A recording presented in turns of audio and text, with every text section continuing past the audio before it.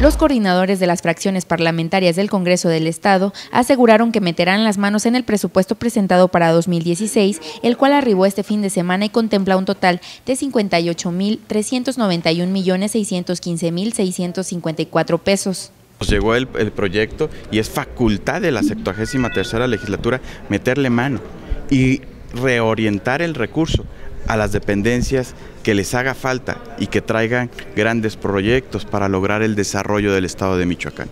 De acuerdo con el perredista Pascual Sigala Páez, el presupuesto destinado para educación es un tema que debe de ser revisado meticulosamente, ya que consideró en legislaturas anteriores el recurso que se etiquetaba para este fin ocasionaba en parte el endeudamiento del Estado. Venía aprobándose un monto eh, por encima de los 4 mil millones de pesos por el Congreso, recurso que no existía eso es lo que ha venido provocando un boquete financiero y un endeudamiento porque eh, presupuestas dinero que no tiene el Estado. A mí me parece que eso es incorrecto. Por su parte, Adriana Hernández Íñiguez, coordinadora de la fracción parlamentaria del PRI, expresó el recurso que se otorgue a cada dependencia estatal variará una vez asumido el cargo como gobernador del Estado por Silvano Aureoles Conejo ante el anuncio de la reestructuración de estas. Recordemos que va a haber una reestructuración en algunas de secretarías.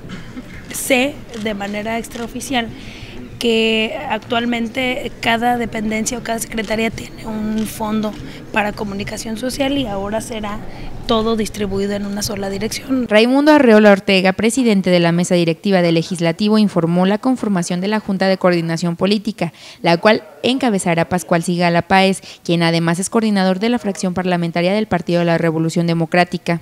Del mismo modo, se llevó a cabo la constitución de los grupos parlamentarios PRI, PRD, PAN, Partido Verde Ecologista de México, PT y la representación parlamentaria coordinada por José Daniel Moncada Sánchez, emanado del Partido Ciudadano y como vicecoordinador Enrique Cepeda Ontiveros de Morena.